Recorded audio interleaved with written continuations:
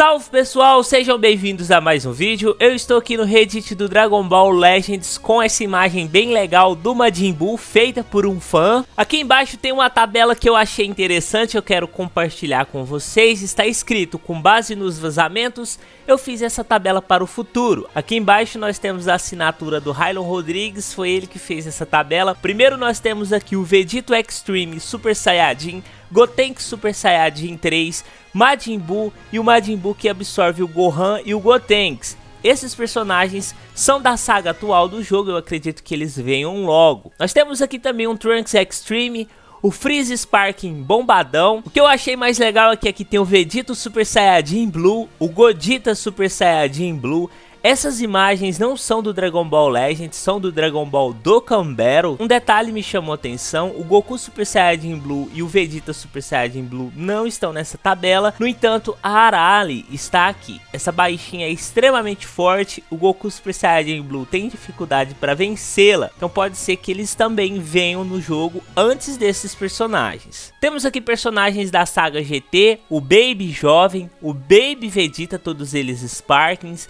e nós temos aqui o Omega Shinron. Quando ele fala sobre vazamento, é porque tem um pessoal que consegue entrar dentro dos arquivos do jogo e encontrar coisas que nós jogadores não vemos, tá?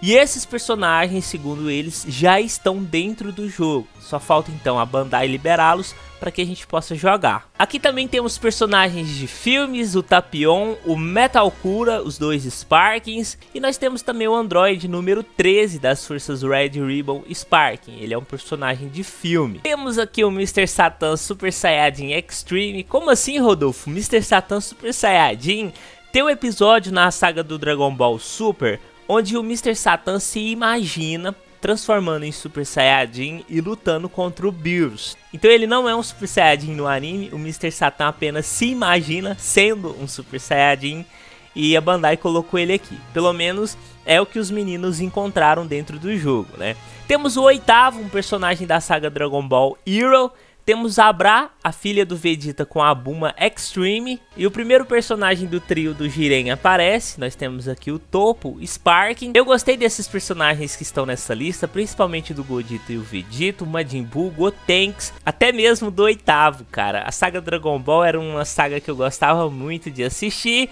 E os personagens for fã, como a Arali, né? Eu acredito que ela vai vir muito forte. Eu quero saber de vocês o que, que vocês acharam desses personagens, dessa tabela.